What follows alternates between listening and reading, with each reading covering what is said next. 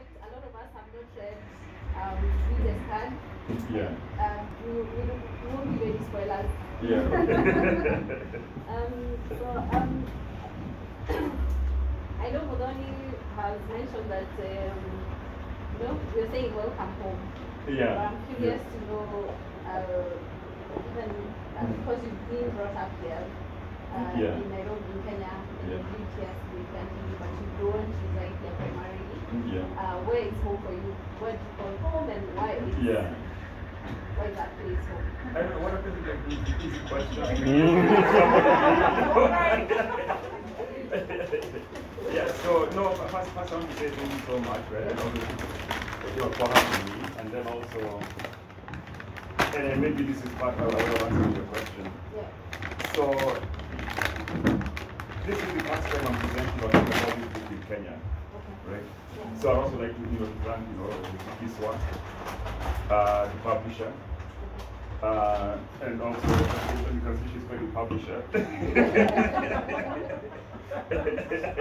That's why we just uh, we just started yeah, um, yeah, but, but it, it, this is, it, it's so special to me, um, and very emotional as well, to talk about this book in Kenya, right? Uh, mostly when we when we get published, you know, for those who, you know for those of us who are you know abroad, you know the book comes out there, you know, and then if you're lucky enough, you can trickle down, right? Um, and we can talk about that later, like the publishing industry and stuff like that, right? But, it, but it's very, very meaningful to have this book published here and then come and talk about it. Um, the, the, the book itself is about exile, right? It's about exile characters.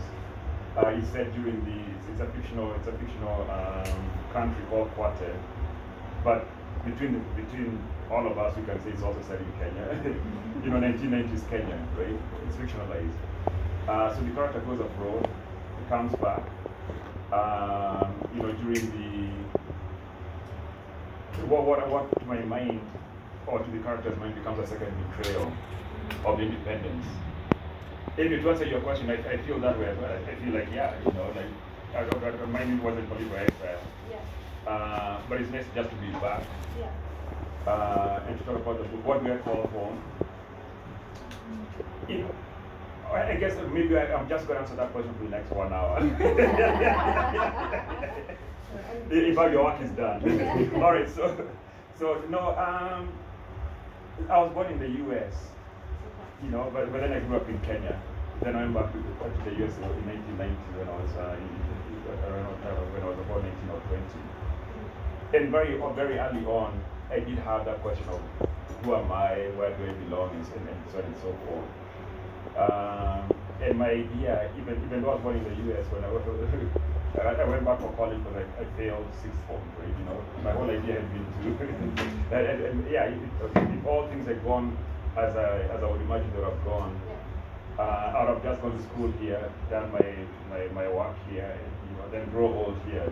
That's also great years. Anyway. yeah. So so so so yeah. So so it was a real question of um, of what is home. Yeah. But uh, at, at some point, uh, when I was, I was there maybe in, uh, when the time that hit or thereabouts, I had to tell myself, look, this illusion of you have, you're gonna go back home, you know, you know, and build a house and stuff like that. It's an illusion at that point. Um, but, but then at the same time, in the U.S., being black, being African, uh, is uh, uh, uh, as, as, as, ex- as, as ex- exemplified with the police killings of black people. you know, it, it's, it's also, it also didn't feel like home. But anyway, at some point, I, I, I just told myself, I'm going to call home where I am. Right? You know, so, and I say, who decides uh, what, who decides what you call home? We, like, where, where is this place where somebody decides this is who you are, this is your home? Oh, ask me about my locker. ah, yeah, yeah, yeah. No, the publisher is intervening. anyway, to answer your question, I just, I, yeah, so, so I, yeah, so what happened was anytime I come to Kenya, I'm like, yeah, I'm, I'm going to go back home tomorrow or next week. Yeah. And when, when I was coming here, I was like, I'm going to go home tomorrow, you know. Yeah, so anyway, at some point, I, I just say I'm, gonna, I'm, gonna- I'm just going to have in my imagination and who I am multiple homes, yeah. Yeah. Great. Um, and, I, and I asked that because I think you mentioned uh, until the books are published Mm. on African soil, until the work is published on African soil, Yeah. then the, the, uh, the work is an orphan. It, it, yeah, no, no, it, it, and, and that's, that's the thing, and we can talk about, more about, we can talk more about this, you know. So, there's, so okay, if you write a book, you know, like, like this is this is a purely African book, Yeah. right? And so is uh, and Barrio Adele, at least with Nairobi Heat. You know, Nairobi Heat takes place half in the US and half in, um, you know, half in Kenya and so on and so forth, right? But, but this is, okay, these two books are set in, in, a, in, a, in African soil, the African books. So there's always that pain of, yeah, of, of, the books getting published abroad and then, uh, and, then they sort of trickle down, yeah, yeah. So, but part of it is that the, we have the sort of publishing industry we have inherited. And this is why it's important for independent publishers, right? Okay, so normally, if the piece wasn't, if the piece wasn't published, being published by book, I'm probably going to be such an educational publishers. Yeah. But for them, they're more interested in educational publishing, so the books can become Yeah. right? Yeah. Um, so, yeah, so, so yes, in, in, in, a way, in, a, in, a, in a way, the books, remain, even, even if they do well abroad, Yeah. they do remain without a home. Yeah. So yeah, yeah. So orphans. Yeah.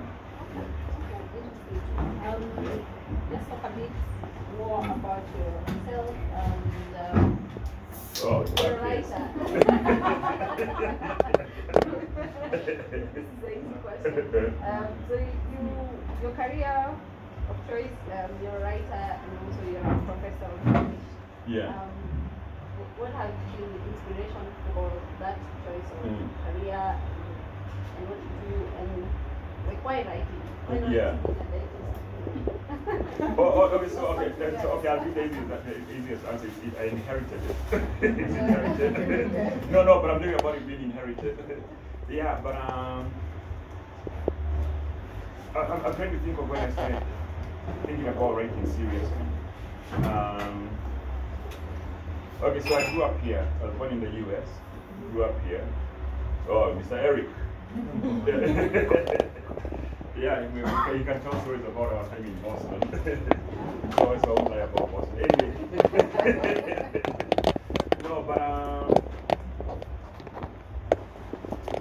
so but it, okay, I, I grew up in a dictatorship. I, I don't know how you, uh, most of you how, how old you are. But um, and, uh, oh, okay, okay. Who, who, who is 40 here? Besides this one. Oh, okay. Wow. Oh, okay, yeah, three people. Okay, four. Yeah. We have people 2000. Yeah, e- exactly. Yes. Yeah, so, so, so, but, but, but, I'm but, looking at big one, but no, but, but I, I, I grew up at the height of the of the dictatorship, of the Moi dictatorship, right? Uh, father in exile, detention. Uh, we used to get um, we used to get like threatening phone calls from you know death like what are called death threats over the phone. And I know, and I make this joke. They always have to speak in a deep voice, like we're gonna come and kill. you." Like it's, it's almost like a joke. and like, why, why, why can't you just say? in a normal, in a normal voice. Yeah, yeah, yeah, yeah. But but in the time of a dictatorship, um, you know, I can tell you stories about that. Um, you know, like having parties, you know, for Christmas and getting raided by the police because they thought, you know, by that they come back and stuff like that, right? Um, but, but then also at a time where, where, where I could see the dissolution, the Kenya that had the promise, so I was born in 71. yeah.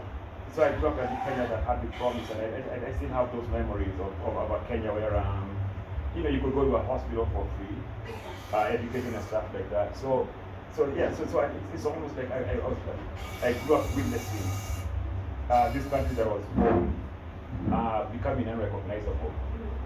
Um, you know, I remember, like, for example, the coup attempt in 1982 Yeah. you know, walking around, you know, and that's when, you know, you, you could see the people. Anyway, yeah, with this blanket of fear and, um, and of course, violence. So at some point, you have to voice those things, right? You have, you have to find a voice for them. You have to do something with them. Um, yeah, so, and, and mine was writing. Like, I, I, I just have to write. Um, yeah, yes. And so writing wa- wa- was that a good answer? And, and writing becomes your way of making sense No, it, of everything that's happening Yeah, no, not necessarily making sense. Uh, yeah, definitely, yeah. Making But sense. bearing witness, I guess. Yeah, bearing Okay. witness. Yeah. But, but, but also questioning. You know, because, the, okay, there's this line I like from, um, from Nuruddin Farah Maps, where the main character Askar says, Askar says, uh, I'm a question to myself. You know, it's such a brilliant line, you know, like, I'm a question to myself. Yeah. So, yeah, so then, so in writing, that's, I guess you could, yeah, I'm a question to myself, I'm a question to myself, and, yeah, and, and then, then the writing that comes from that, yeah. Um, I don't want to pop all the questions, so I'll ask um, Mm. pro- probably the last question, and um, then open the question, or rather, have you read a passage from the book, the Mm. start, Yep. and then we can take questions from the people in the room. Uh, so my last question is, uh, what was the inspiration for the film? Yeah, yeah, made this card, yeah. Okay, so so what, what happened was uh, I had a nightmare. Oh, wow. yeah, no, I, I had a nightmare where um, okay, so the, the opening passage of, of We, the Scarred is literally me transcribing that nightmare. I had a nightmare of um of of, of uh, I mean, we're traumatized. I don't know, maybe you guys born in the 2000s, maybe like you. No, we also traumatized. The 2007 post-election Yeah, yeah, oh yeah, yeah. So they have their Yeah, own. so, so I guess you guys have your 2007 election on TV. Um, but, but I had this dream where our soldiers came, you know, and they were massacring, massacring, massacring people, Yeah. right? And I was, um, I was hiding somewhere and just watching. Yeah, so that, that's the beginning of the of the novel. Um, yeah, so the, the novel comes from a place of trauma. Um, and I would say that I think of all the things I've written. Okay, so th- these two books are polar opposites for me. Yeah. I, I would say We, the Scarred gave me PTSD. Right? Because, because, of, of the stuff that, okay, maybe going, or, or, or going through that trauma again. Um, but also creating these characters who are just absolutely evil, you know. Like one of the characters here is a torturer who likes to, he's very, he's very brilliant at it.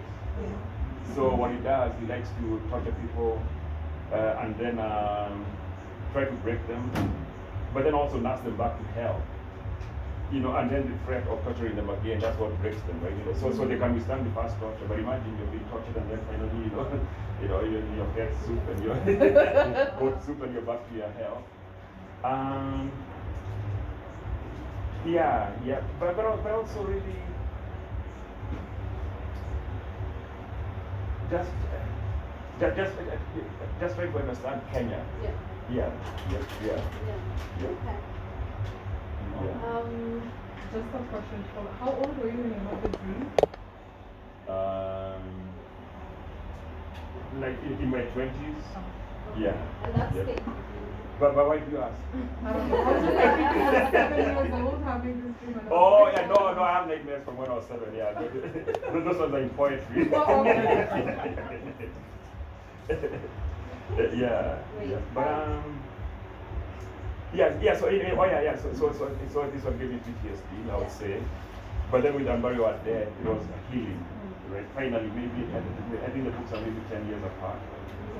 Yeah, but finally, because Unbury Our Dead with songs about beauty and everything about music, of course, through the trauma itself. Um, but I would say PTSD. So depending on where you are psychologically, maybe buy with this card, or if you're already healing. You are, you are here to sell books. Oh, oh, oh, oh, yeah, oh, yeah, yeah, yeah, yeah. yeah. okay, both. Yeah, get traumatized and, Yes, I mean, and then let me it's use the it. whole package. Yeah. yeah. Great. Um, and so I'll give you a few minutes Uh, uh, to to probably read select something. Okay, a yeah. passage from the book, Yeah. um, and then we can take some questions. All right, let me find my glasses. Other questions before we go there? Uh, old age. At some point you need glasses. Which oh, there we go. Ah, the ritual. no, I was, I, was, I was always 2020, but I did I used to make fun of people with glasses. Now it's your turn. yep. Don't worry, 2,000 millennials is happening as well. Millennials are much older. Oh, the millennials are older. Oh, okay. No, no, I'm not 2000. Ah, yeah, yeah, The yeah. Gen, Gen Z. Gen Z. yeah. So, Take it away. Okay, I shall read it. Um, yeah, so this is, I'm just going to read the first one or two pages, um, which is the beginning, the, the nightmare that I had that I just transcribed. All right, hold on. I haven't read from this book, so. Oh.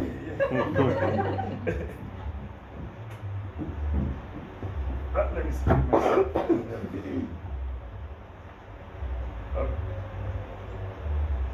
Oh. Yeah. No, I can. No, okay, sorry. I shouldn't be. I shouldn't, I shouldn't be making these noises. Were to no, because there's that moment when you, when you have clarity with your glasses, right? When you can everything on screen. Anyway. Okay, so the chapter is called Kalumba Escaping to the Exile. The moment Baba Ogam opened his eyes, he realized he was going to, he was going to get shot and he would die. Baba Ogam realized it even as his body continued to obey his earlier command to star, even as he read the warning, be still in Kalumba's frantic eyes. In the same sharp flash with which you realize a moment before your hand lets go that you are inevitably going to drop a, gla- a glass of water and will break. Baba Ogam realized he shouldn't have opened his eyes. He shouldn't have flailed, he, should, he shouldn't have flailed his arms around, groping to find where he was. He should have kept his eyes closed and his body limp. He should have remained dead. And because he had not, he was going to get shot. Their eyes locked. One pair a few seconds from death, managed a, a such familiar smile and said, I will not betray, I will not betray your hiding spot. The other, the hidden pair promised in exchange that they will never let go of what they were witnessing. What had brought Baba Ogam to this point? A conscience and a Bible shot into the point that just about summed up his life. He had been surprised when they came for him. He had in fact anticipated just a routine questioning, a few inconvenient hours, and he would be on his way. But in, the, in, in uh, extraordinary times, he was learning nothing remains predict- predict- predict- predictable for long. There had been a poor attempt. He should have taken extra precautions. At the beginning, Baba had been reluctant to speak, of, to speak to the flesh. His calling was to make good Christians. But as starved, bruised, and battered bodies walking to his church every Sunday, he could tell that the faithful few were losing faith. They had long ago lost faith in the world of butter shoe company and goodwill tea plantation, where most of them worked. And now, the better world of the faith was losing its luster. Faith feeds on hope. To preach to the flesh was a pragmatic choice. And as he lay there just a few seconds from dying, his first sermon flashed, flashed through his mind. His congregation walking in duty for two hours of escape before returning to their real world, and he, his heart beating into his chest, reminding himself that today he had to speak to their flesh, and that in the process he would be making powerful enemies. He chose the sermon very carefully. Just like any artist with a canvas, each stroke and an, understatement that resounded outside of its colors to become amplified, amplified in the minds of the audience. A good artist suggests, he told himself, and so he started. There is Judas, and there is Peter. Judas betrayed Jesus for 30 pieces of silver with a kiss. And Jesus told Peter, I tell you, Peter, before the cock crows this day, you'll deny, you'll deny me three times. And so it happened that after Jesus was captured, Peter thought he, he had vowed to follow Jesus to his death. Instead, followed in the footsteps of Judas, the traitor, denying Jesus three times. Not once or twice, but three times. There is Judas and there is Peter. Judas betraying Peter, denying. Let me ask you, whose sins are greater? The one who betrayed or the one who denied? In our times, whose are greater? Those that betray us for 30 pieces of silver or the pious that stand by denying the injustice of it all? We, the people, are the body of Christ instead. Judas. Need I tell you who Peter is? Go home. you have much work to do. Right? Yeah, yeah. So anyway, so, eh, so he's a preacher, right? Uh, yeah, but Bogam is a preacher who, and he, he prays himself in like giving haiku sermons. Yeah, so okay, unlike the long prayers we do today, you know, I'm already surprised you didn't start with a prayer. I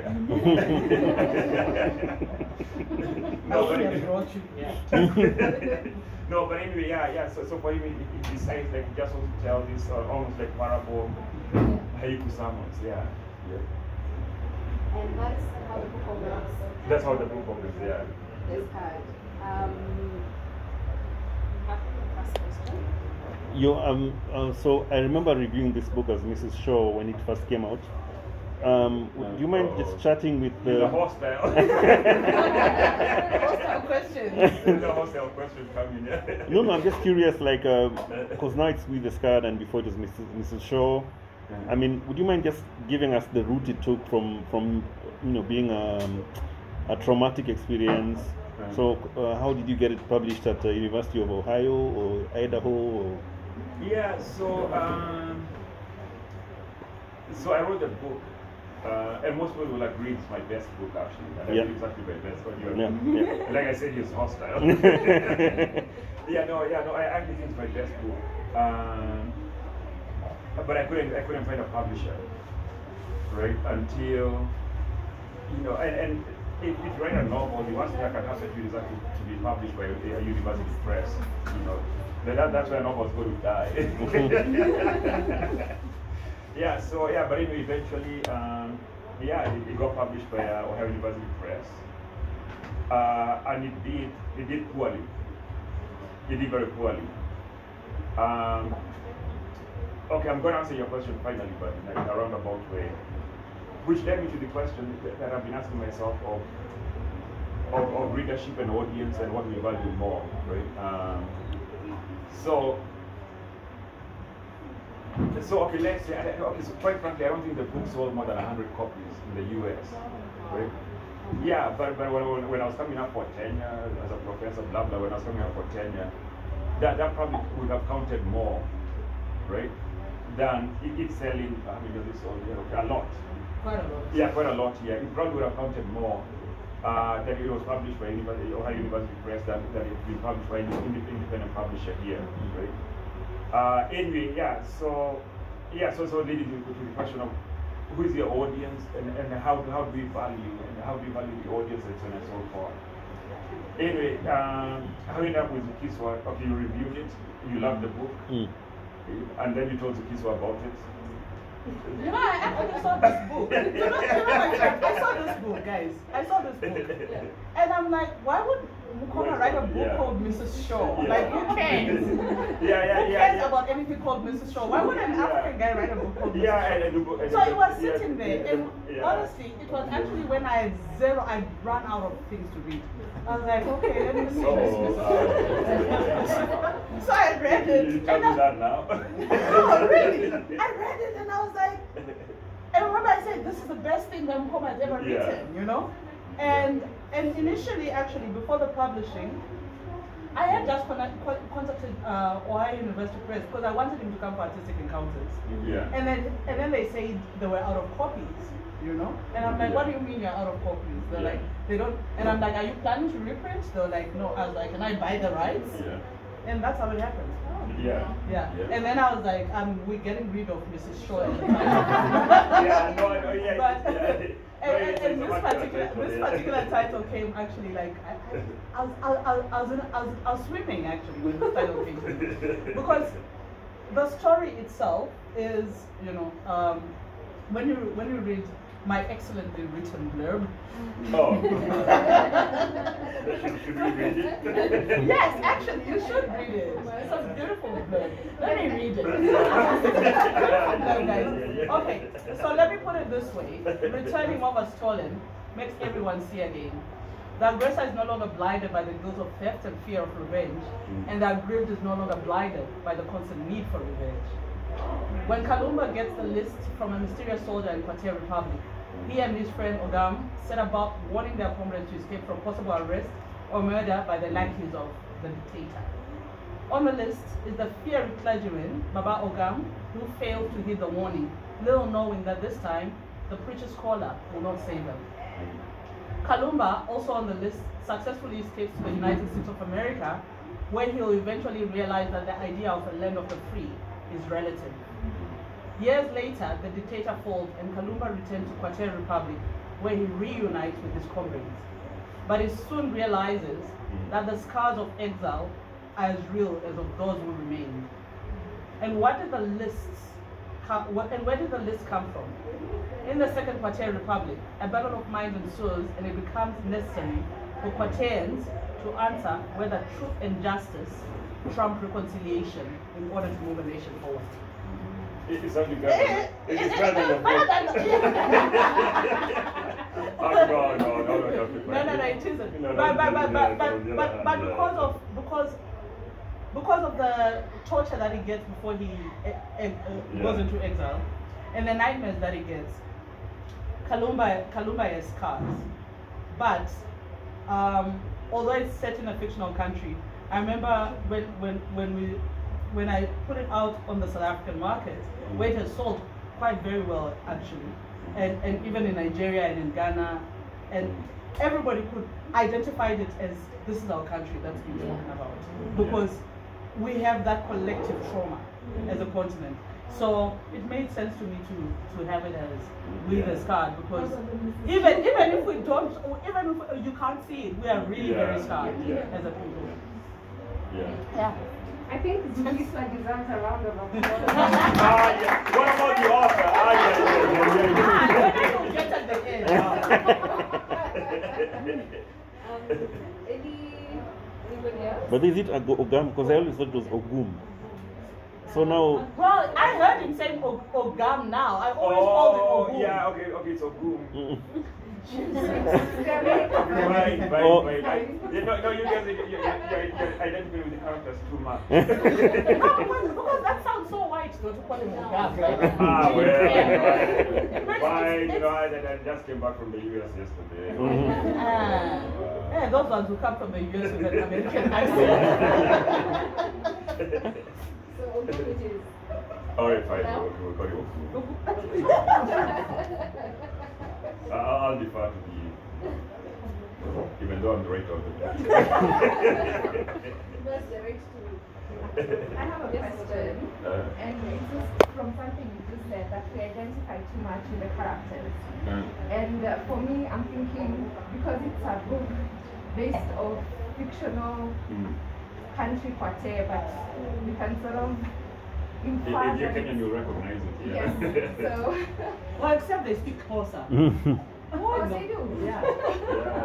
So it's that fictional. Yeah, the jet is awesome. Yeah, so I had to throw that in there. Uh, wow.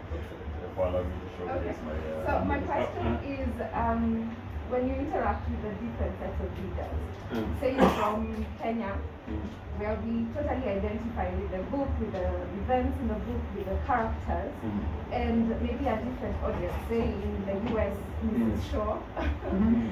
versus Ogam. I'm calling him Ogam, guys. Ah, yeah, yeah. How do you find um, different readers relating to the characters? Mm. Yes. Or just generally to how they receive the book?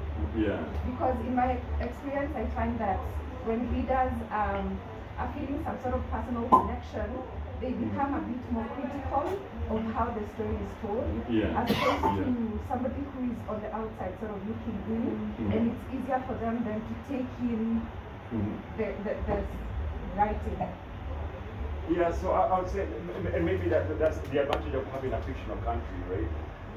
Uh, the advantage of having is that you can say it's fiction, uh, and you cannot, you can't be held down to the facts of, uh, oh yeah, let's, oh yeah, oh yeah, Kenya was independent in 1963, right? You know, but if it's fictional, then you can play around with that, and imaginatively, uh, that frees you as well. You know, so, I, I I was writing, about Kenya, though I was.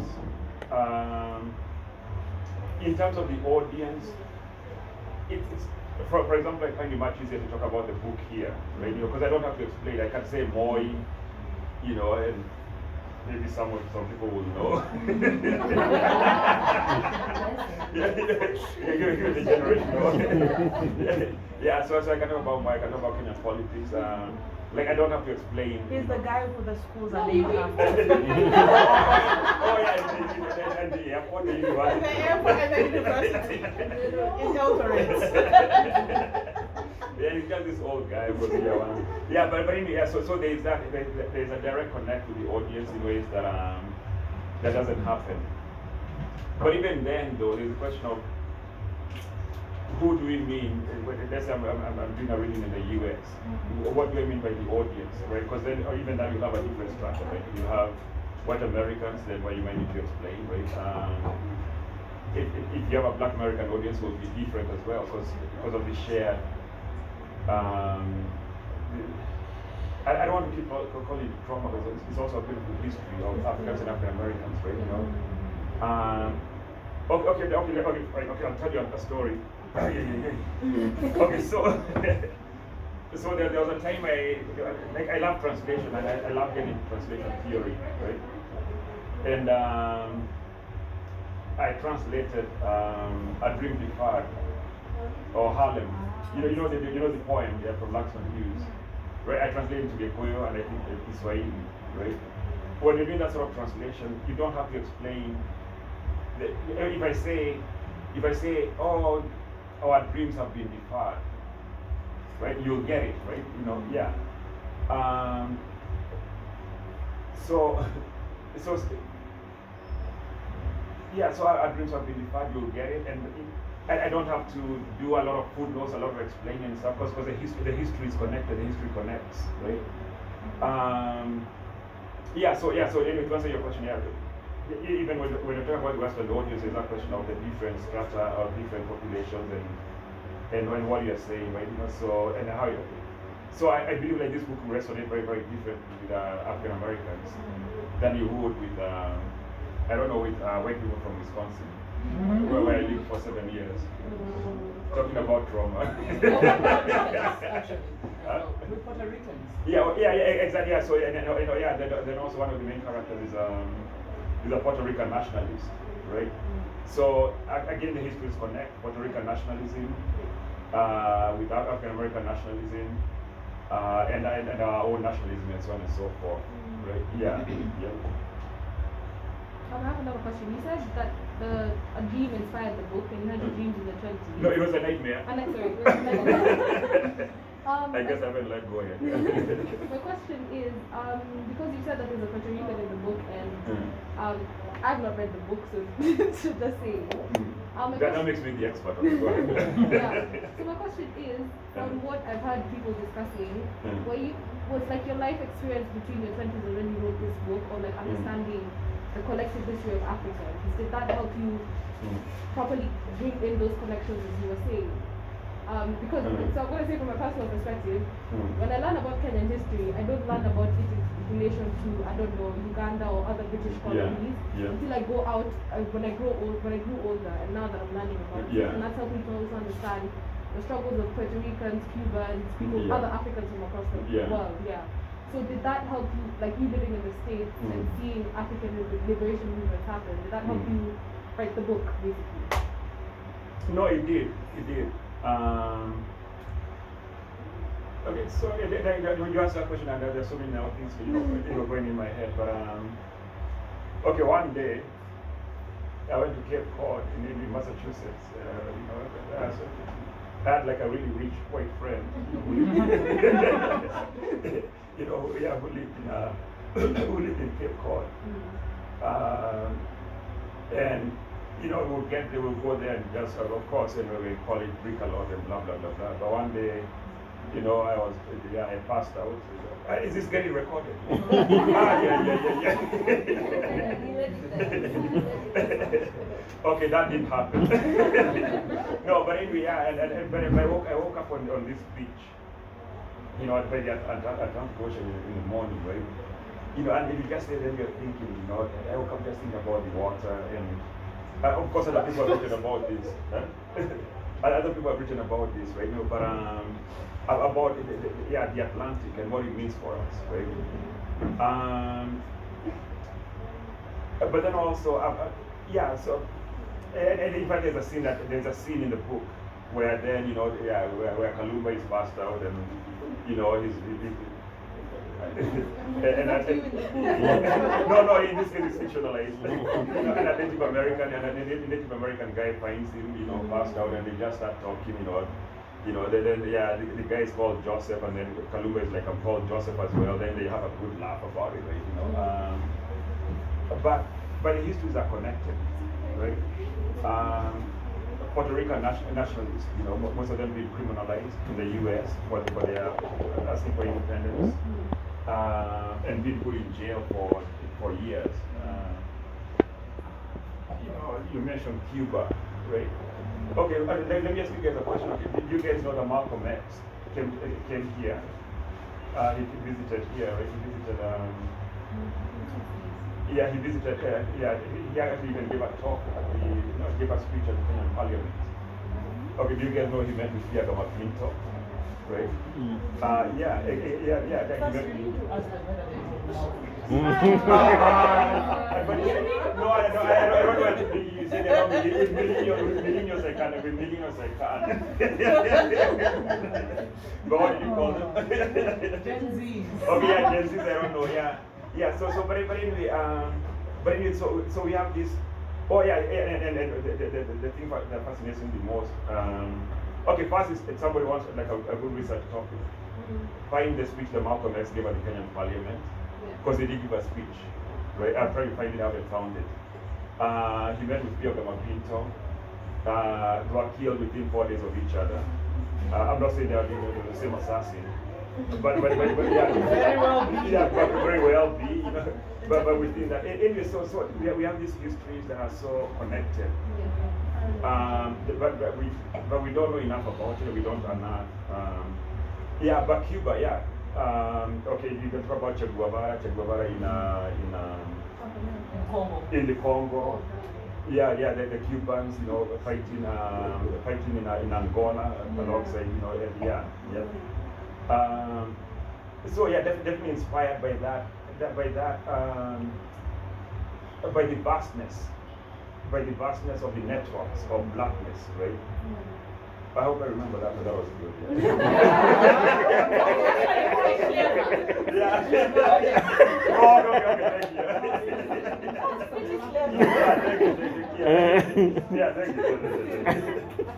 Yeah, so so so the, the book. I'm writing a book now. Yeah, you know, so, so I'm working on a book. Uh, this is very it's on my mind. I'm, I'm, the book I'm working on now uh, is on the, the relationship between Africans and African Americans. Mm. Yeah, and, it, and, it's such a beautiful, just this magnificent, beautiful history, mm. right? Uh, yeah, so you can follow Malcolm X. So he comes to Kenya, we don't, we don't, we don't talk about that. He goes to Zanzibar. Uh, he goes to um, Ghana. He goes to Ghana. When he's Ghana, he, yeah, he meets Maya Angelou who is there. Uh, there's this uh, group of African Americans, radical African Americans who are there. Um, and of course, Nkrumah has gone at that point, right? Um, yeah, yep. Okay, so, okay, all right, okay. Sorry, it's, you, you asked the wrong question. So, all right, so, um, okay, do you guys know what, what, what, John Kiano? John Kiano, he was the minister of. Uh, Mr. 10%. Huh? Mr. 10%. Was it? Yeah, anyway, so, so, so, so in, in the early, in, in, in, so you know, you know, you guys know about the Kennedy airlift. Yes. All right. Yeah. So so you, so you had this influx of Kenyans that were uh, went abroad. Yeah. Yeah. So one of them was John Kiano, who become comes back and um, he marries. Uh, when he comes back, he marries uh, an African American woman. Uh, who then gets Kenyan citizenship. There's this beautiful photograph of them, you know, she's holding up her citizenship, you know, her, her passport. Uh, but she's too radical. Uh, they haven't given me citizenship. Oh. I, I, I, I, can assure you, you won't get it because of this story. anyway, so, anyway, so, so, yeah, so, so yeah, but she, she's too much of a, a radical feminist, and um, she ends up getting um, what is called exiled. she gets stripped of her citizenship. Yeah. By who? By Moi, going back to Moi. At that point, Moi is the Minister of Home Affairs. Who then years later will put my dad in jail with the same sort of order, right? But anyway, the, the, the little connections. So at some point, um, Oh, oh yeah, yeah, yeah. So there are all these stories anyway. So at some point, then um, Kiano was dating Coretta Scott King before she became the wife of um. Yeah, yeah, and he, he pro- yeah, yeah, yeah, and he, he pro- yeah, he proposed to her. No, exactly. Yeah, he proposed to her. She refused. To, to, to her credit, actually, because. yeah, yeah, yeah, and, and then um, yeah. Anyway, yeah. So there, there was what I'm trying to say is that these little uh, networks, yeah, uh, that we, a lot of them interpersonal,